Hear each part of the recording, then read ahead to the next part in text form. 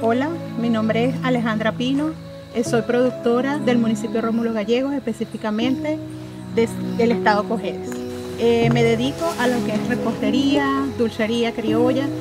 Eh, hace pocos días fui beneficiada por el convenio Mi Mujer, Gobernación y Banco Bicentenario.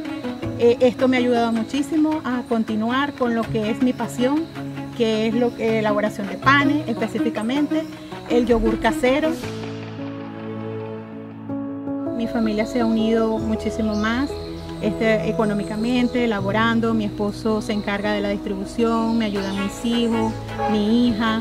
Eh, con este crédito he logrado muchísimo, logré comprar muchas cosas, mucho material de apoyo, este, maquinaria, agradecida con nuestra gobernadora Margado Godoy, con nuestro presidente Nicolás Maduro, con el alcalde Ismael Fernández por esta oportunidad que me dan. Este crédito lo obtuve gracias al Instituto de la Mujer, a mi mujer, con nuestra querida Niuca Volcán que nos apoyó, nos apoya desde siempre.